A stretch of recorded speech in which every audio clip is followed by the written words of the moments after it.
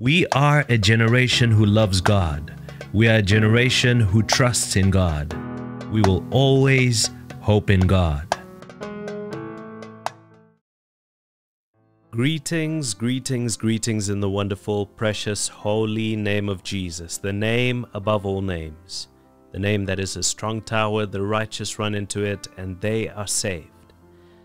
God is good, my dear friend, and God is with you. He loves you, and if you follow Him, He will lead you to the place that you need to be in order to make it through. He will lead you to the place that you need to be in order to be happy. God leads His children, and the wise listen. It's so important that when God speaks to us and gives us direction, we are sensitive to His voice and we are willing to listen to what He has to say.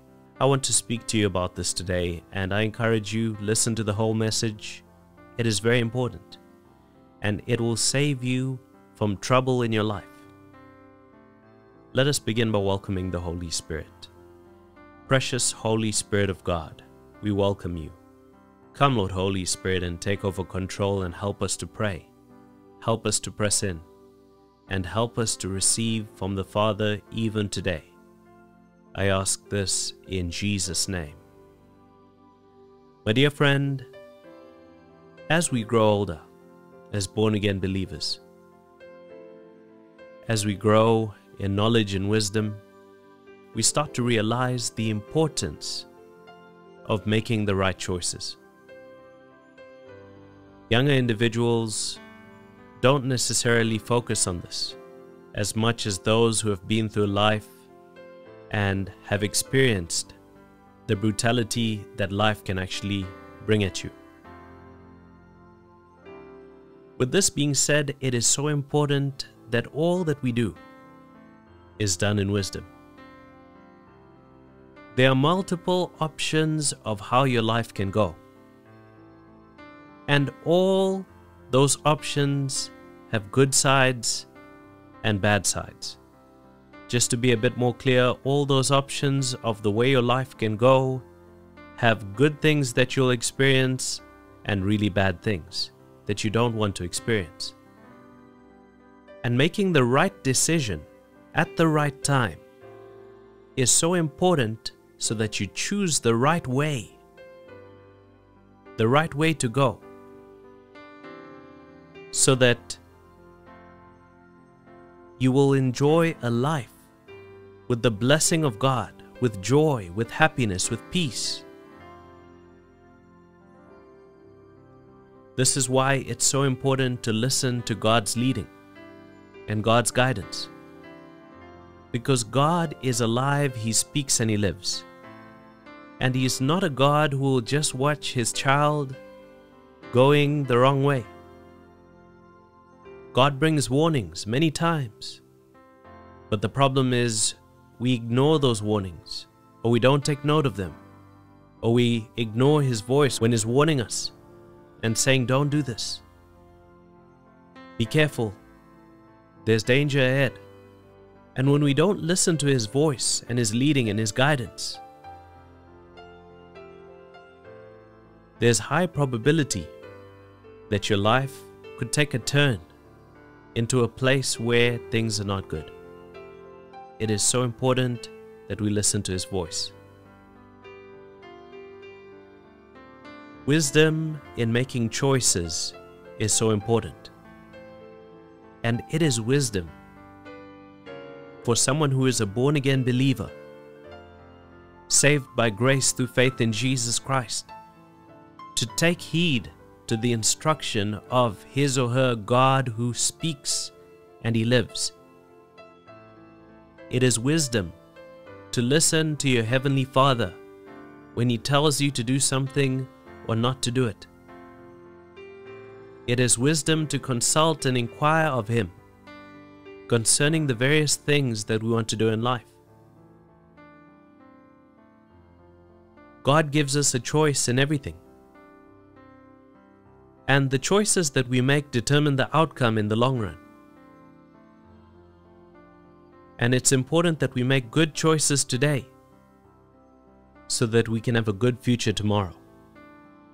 The Bible says, Behold, I set before you life and death. And God even recommends, therefore choose life. And choosing life is being willing to listen when God is speaking. There are certain things that we want and we desire in our life, and we want them so much, so badly, that when God speaks and says, Don't do it, don't go that way, we sort of ignore His voice or we don't listen sometimes. It's important for us to learn to actually be submissive and submitted to the leading and guidance of the Holy Spirit. Because He will lead us and He will protect us. The more I grow in my faith, and the more I walk with the Lord and learn from Him, the more I learn the importance of being willing and obedient when God speaks.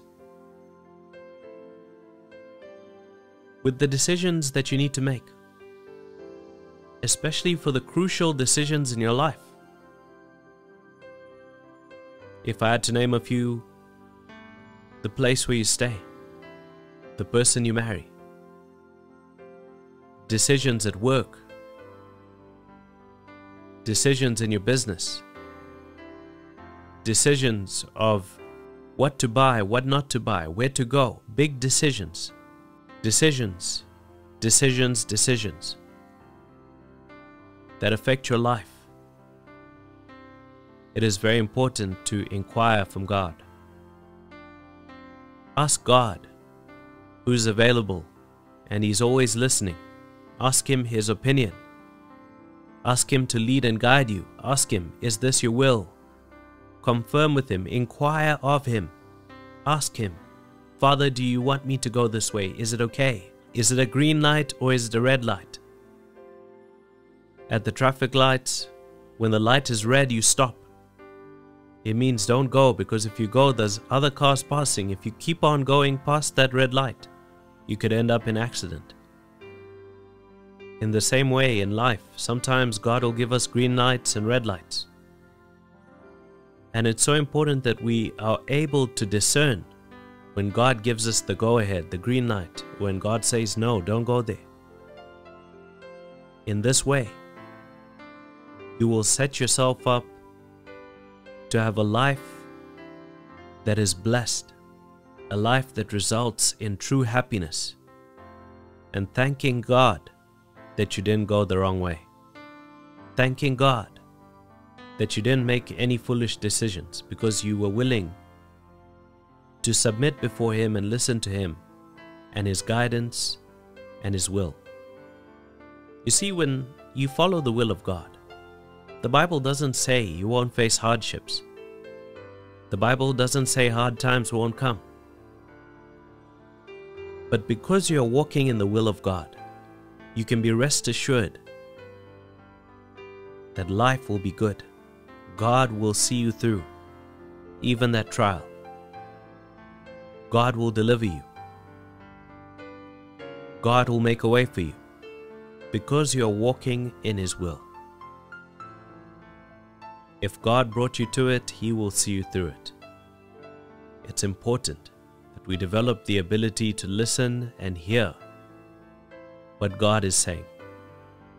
In saying that, let us go into a time of prayer. I want to pray for you that the voice of the Holy Spirit will be amplified and magnified in your life, so much so that you will know what God is saying in the now, and you'll be able to apply that and go forward in power. In saying that, let us begin by praising God. Father, we praise you and we thank you for another day that you've given us, a wonderful day to live to the fullest, a wonderful day to press on, a wonderful day to receive from you, a wonderful day, a brand new day, a day that we can spend with our family and friends, a day that we can make the right decisions, and set ourselves up for a good tomorrow a day that we can take heed to your voice and your instruction as you lead us into all truth, as you give us life. As your word comes to us, it brings life. And where the Spirit of the Lord is, there is freedom. There is peace. There is joy. We give you praise and we thank you for this in Jesus' name. Amen and amen. My dear friend, as I pray for you, it'll be a short prayer. But there is power in prayer. There is power in the name of Jesus. It is not about the number of words that you mention in prayer that brings about the result, but it is the faith and the connection and relationship that you have with God. I encourage you as I pray for you, connect in faith, comment and agree, believe and receive. Father, I pray for my dear friend, even right now. I pray that you will amplify and magnify the voice of your Holy Spirit within them. My dear friend, dear son, my dear friend, dear daughter. Give my dear friend peace in the areas where you give them a green light. And wherever there's any place that my dear friend is going to go, or decision that my dear friend is going to make that will be bad or detrimental to their future, speak to my dear friend and warn my dear friend. And let my dear friend hear, hear you clearly. Give us the grace to be willing and obedient, that we may eat the best of the land I ask this in Jesus' name, and I thank you for it, Lord. Amen. God bless you, God be with you, my dear friend, and God keep you. May the grace of God and the fellowship of the Holy Spirit be with you, now and forevermore, in Jesus' name. Amen. Thank you for watching. If you were blessed by this video and you would like to support us to keep making content like this, you can do so via PayPal or Patreon. The links are provided in the description. God bless you and goodbye.